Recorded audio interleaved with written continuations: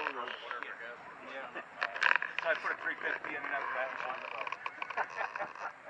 I tell you, I, uh, I had a friend with a 69 Chevelle SS 396. Yeah.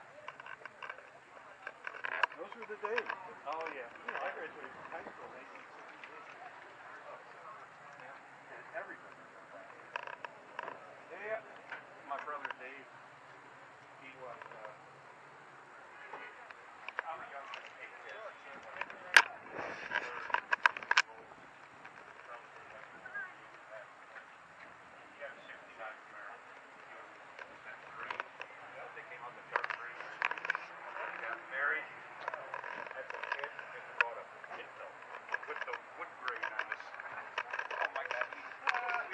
never ever put that down.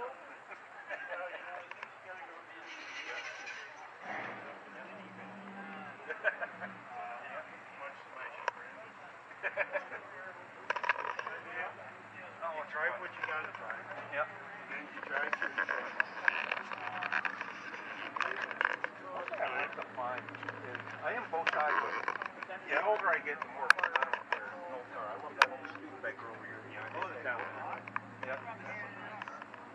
matter of fact, down the road a ways was a 19